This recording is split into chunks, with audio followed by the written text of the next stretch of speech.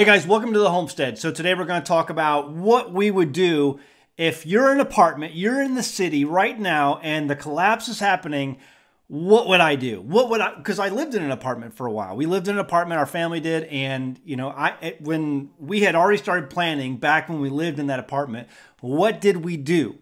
So we're going to go through a number of those items today that I have written down in my notes. But before I begin that, I'm just going to show you what we did this morning here on the homestead.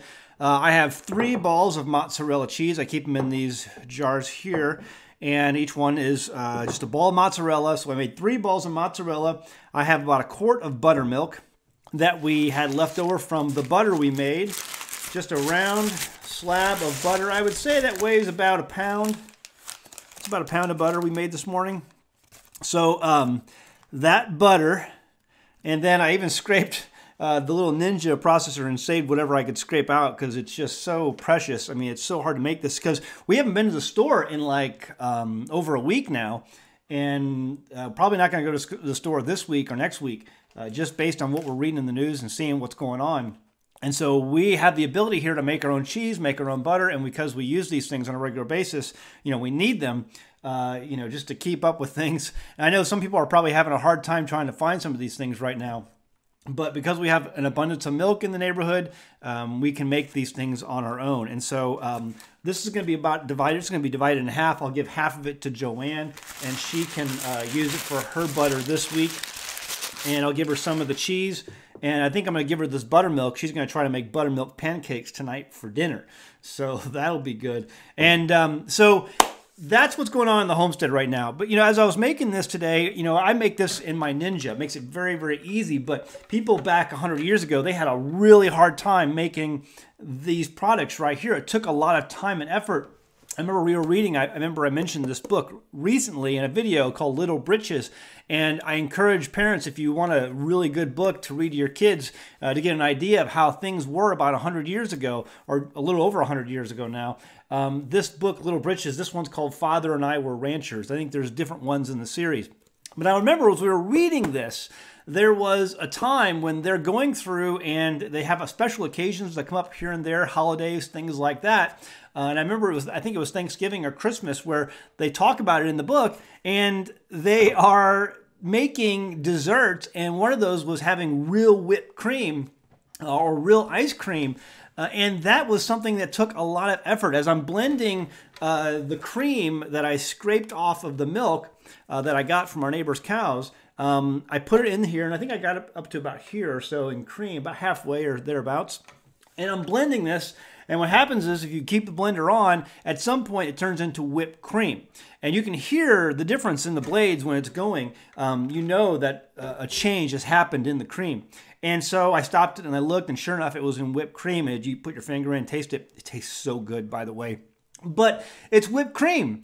You turn it, you keep it going, and eventually that whipped cream turns into butter. It becomes more solid, and then you have the buttermilk that's uh, surrounding the butter that you can pour off and use for other things. And so, uh, but it just boggled my mind to realize how much work and effort went into making that whipped cream because they didn't have a fancy handy dandy ninja.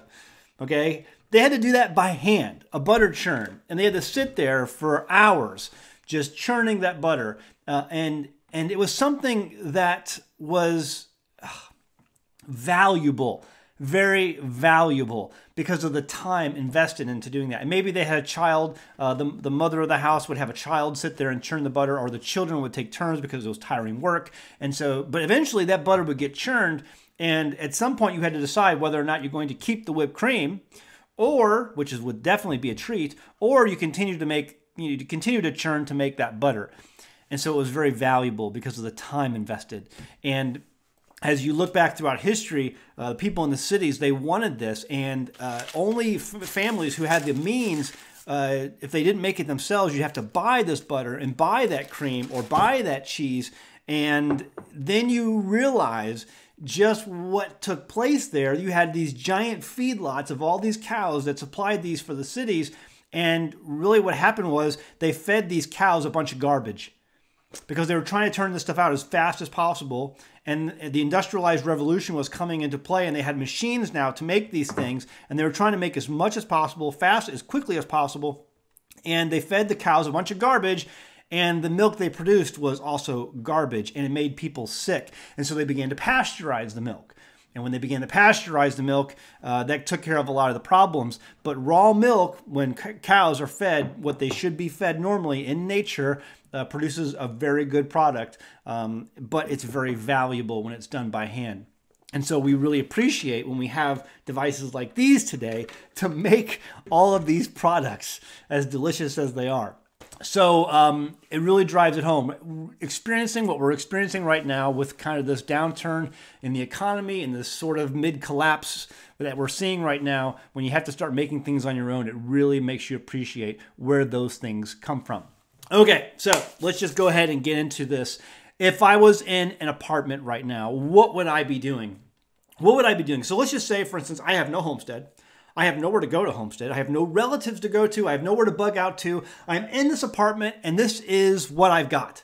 What can I do? If this really is the downturn, if there's a real economic collapse coming, and I truly believe we, this could be it, I really do. As, as the more and more, I, I'm having a separate video coming out soon on why I think, you know, 50 50. You know, yesterday, if you'd asked me, I was more like 60 40. 60 60%, you know, this is going to recover, 40% it may not. Now I'm 50 50, 50 50 because of all the trillions they're pumping into this economy. It's going to cause massive inflation. I'll get into that in another video. But if this is really it, what can, if I was in an apartment, which I know some of you are, I see the comments, what do I do? What do I do? How do I how, how do I prepare for this? Because there are some things you can do to help make this better for you uh, because I lived it. Me and Jamie had gone through a number of these things, and we were like, you know, what can we do? We lived in an apartment in St. Louis, um, and so how do we figure this out? Um, number one is figure out ways to save water. Whether that means uh, some cases of bottled water, and I know people are fighting for bottled water right now. I saw a video just the other day on Facebook of people actually getting in fights at the store for bottled water. Okay, uh, but right now, if you don't know, you have a tap, and the tap still works. Do you have containers? Maybe you don't need to buy bottled water. Maybe you need to go out and buy a bunch of containers and get those containers full and put those in your closet. You can fill up your own water from a tap right now. It you know, it may not be as good as bottled water. You may not like drinking from the tap. You may live in a place where tap water is not the greatest. But you know what? You can boil that water, you can filter that water, but having that water from that tap right now is something that may not always be there. What if that tap got turned off? That would be my top concern. The number one concern is always, always water. So if you can't get the bottled water, you can't get the filtered water, maybe buy a filter, okay, and get water from your tap. Put it in the um, the little Brita things if you can get one of those, uh, or boil it if you have to. You, you have ways get containers, fill them with water. I've heard of people who would plan on filling their bathtub with water and using that as a reservoir if they had to. Uh, yeah, that doesn't mean you can take a shower. uh, maybe you have two showers. Maybe you're maybe you have two showers in your apartment and two baths, and you can use one for showering and then one for water storage if it has a bathtub. Find ways to store water um, uh, containers. Um, if you're on the top floor, be careful because water weighs a lot. You don't want your floor to cave in if it's a horrible apartment you know, use your own judgment on that.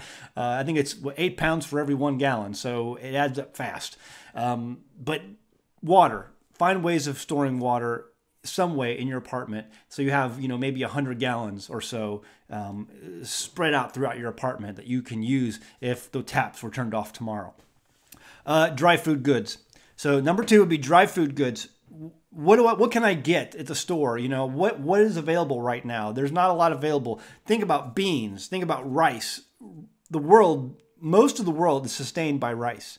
Okay, rice is a great food that stays good forever and you can find rice. Um, sometimes a lot of feed stores. If you if you if you even if you have to, because everyone goes to Walmart, Walmart's sold out. Sam's Club, Costco, gone. There's no rice there, there to be had. Okay, but have you ever thought about feed store? Drive outside of your town for an hour and go to the feed store. Usually there's feed stores who still have food left. You know, and sometimes they have rice.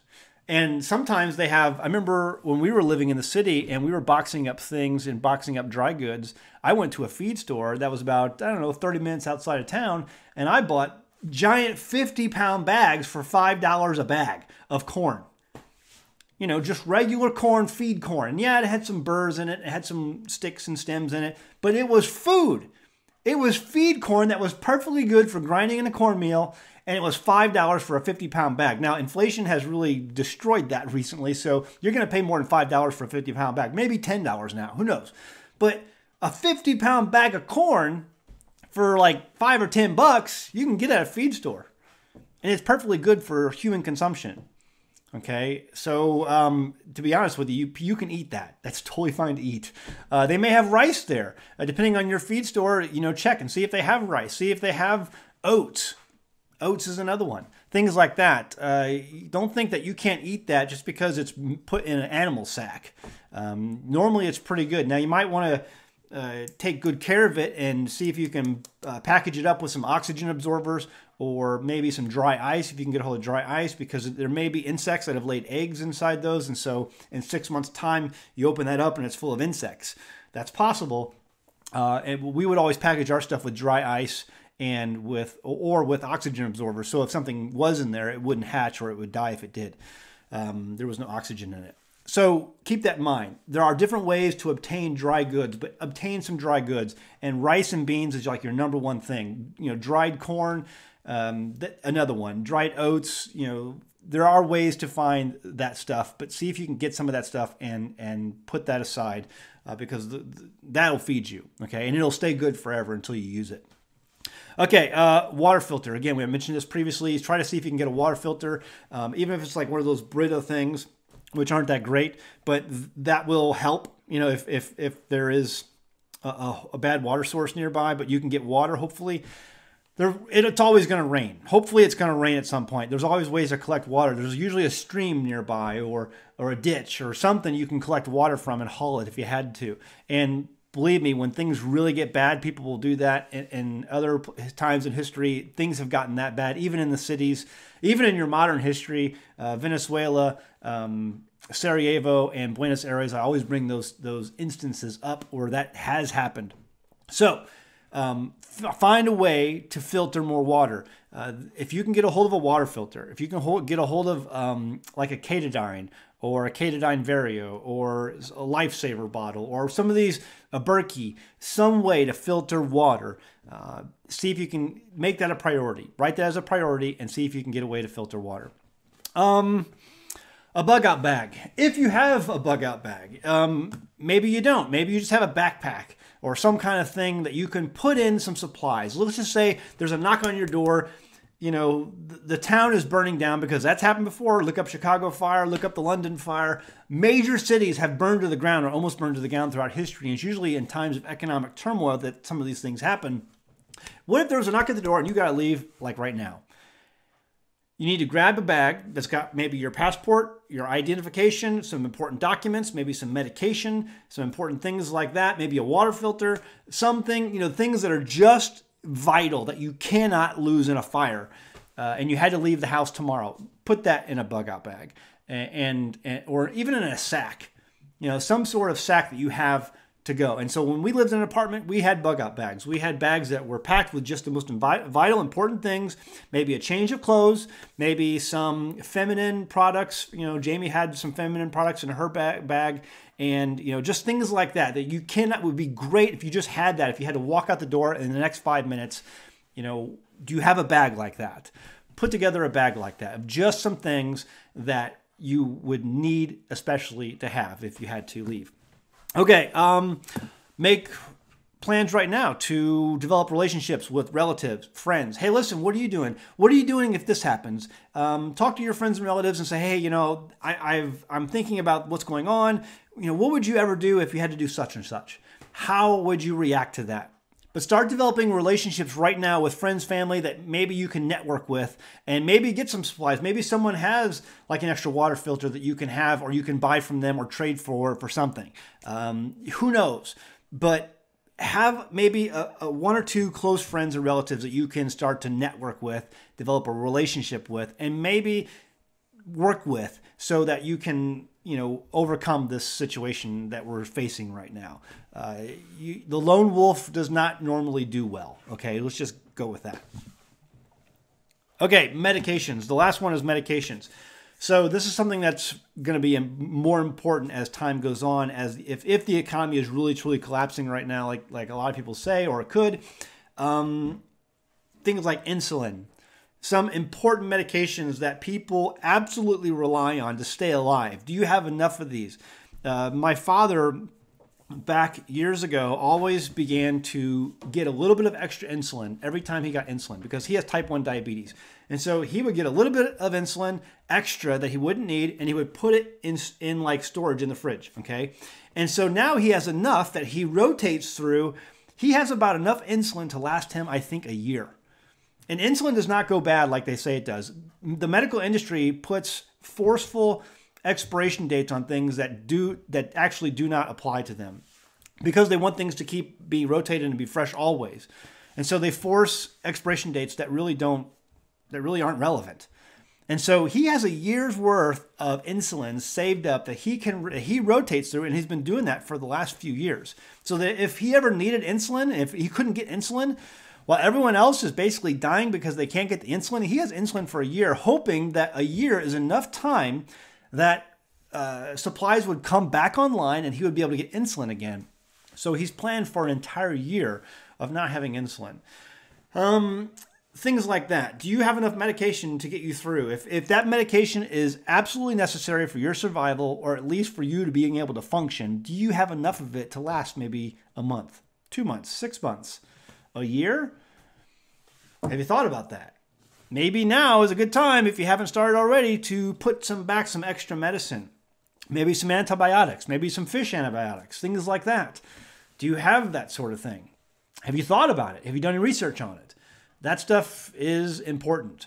And so think about it now. Is there something that you could not live without if it was taken away from you tomorrow? Really, literally couldn't live without. Think about things like that. If I was in an apartment if I was in an apartment right now and I was scared to death that this collapse was actually happening, these are the things that would be foremost on my mind. How would I be working through these things? How would I be solving these problems? How would I be getting what I need to get so that I could have a better peace of mind about this? And I know there's some people out there, really, really sad people, who are going to say, you know what? I'm not going to worry about this. I'm just going to let God worry about it.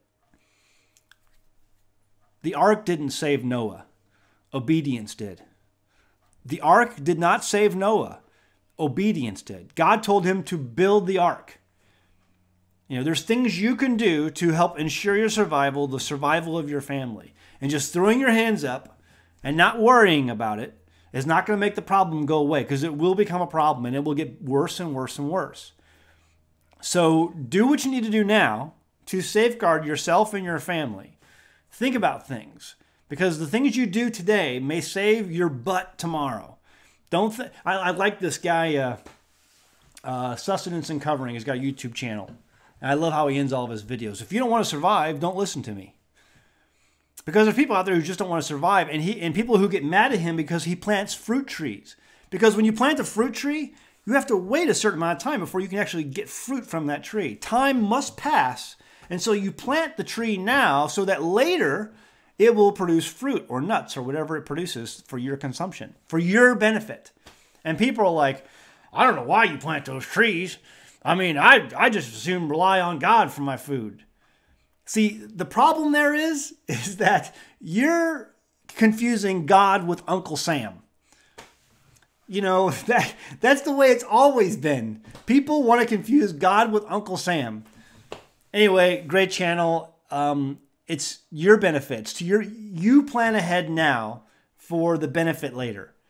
And so take this opportunity, what little time we may have left, to put some effort and time into your own survival uh, in the next few, you know, for the next few years or for the next few months. Who knows what's going to happen? The world's full of a lot of questions right now. But if I was in an apartment right now, because I've been there, and we were woke back then, and we were planning back when we lived in an apartment, these are the things I did to, to hope to give me a better peace of mind so, so that if something did happen, we would be okay. We would be better off than if we had not planned at all. Put it that way. All right. I hope you enjoyed the video. Guys, hit the like button. Don't leave the video without hitting the like button. That I would really appreciate that because, man, YouTube is harsh today. we want we want them to know that people actually watch and like our videos. So don't go anywhere without hitting that like button. And if you're new here, please subscribe. I hope to have earned your subscription. And check out our sponsor at the end of the video. Um, a good immune system is really important right now. So maybe if you go ahead and purchase some of the Zeal products, I know they have some left um, for sure. There, there's some in stock. Uh, you're going to help boost your immune system in times like these when your immune system really could use it. Okay, so check out, and every purchase you make helps to go help uh, the homestead, helps to support the homestead. Okay. That being said, I'm to go put this cheese in the fridge and go give this buttermilk to Joanne so she can get started on pancakes and get the butter out to where it needs to go. one day at a time, folks, one day at a time. All right, guys, see you next time on An American Homestead. I'm pretty sure that the problem we're facing could easily be uh, solved for at least another century if everybody alive would just go outside and plant one fruit tree right now. But as I said earlier, America is enacting one law after another against such a thing, and most people buy into such foolishness. So much so that if you do try to plant a fruit tree, your neighbors will probably turn you in. In fact, I've been told more than once since starting this channel that the things that I do show a lack of faith in God. I should be dependent on God, not on my trees that I plant. Comments like this show why it's so dangerous to confuse God with Uncle Sam. It's Monsanto's law that people not grow their own food. God's law is and always has been exactly the opposite. If you don't want to survive, don't listen to me. Hey guys, I'm happy to introduce an American Homestead sponsor, Zurvita Zeal. Now, first off, I only accept sponsors from products that I use and believe in. My family uses Zeal mainly because we want to ensure a healthy immune system. You see, it's made up of only whole food concentrates and includes no artificial colors, flavors, or preservatives. The included sweetener is all natural from fruit and the stevia leaf. It's gluten free, it's vegan, and it's kosher. In 2018, my youngest son was involved in a bike accident that resulted in the surgical removal of his spleen, and that's an important part of his immune system. And because we live on a farm, you can guess that having a healthy immune system for our family is very important. Some of the included ingredients are beetroot, chicory root, turmeric, moringa, blueberries, cranberry, goji berry, milk thistle, ginseng, alfalfa, broccoli, and so much more. It's these natural ingredients that can easily be made into a powerful and tasty drink that my family can make and feel good about. So sign up and give it a try today. Every purchase you make goes to help the homestead so that we can continue to make great homesteading videos for you. Link is in the description below. Go ahead, give it a try.